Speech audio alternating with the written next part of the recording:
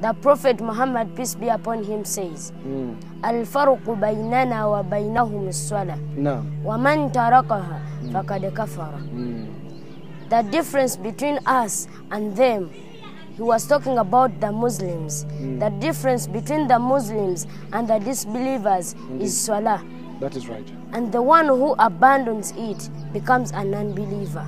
So you want to say that if a Muslim uh, deliberately refuses to pray, he becomes a disbeliever. Yes, So is this an advice you're giving to all the, the, the kids like you in, in Uganda that they have to pray if they are Muslims? And if they abandon prayers, they become disbelievers?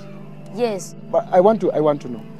Uh, supposing I was sleeping and I missed Subuh prayers, yes. and I wake up like at, uh, at 8 a.m. when the sun has already come out, do I pray it there or I just leave it? When you forget what we call anisyan. Mm. When you remember, that time you remember is when you pray. So you should not leave swala. Swala is very important.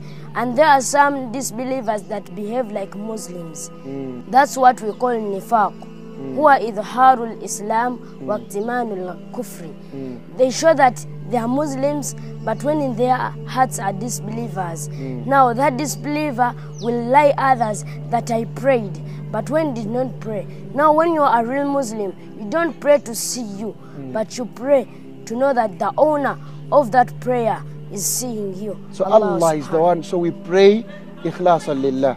So that Allah subhanahu wa ta'ala sees what we are doing. Now, Thank you very much. Uh, what is your name? my name is Lubiogo Abdurrahim And where do you study from?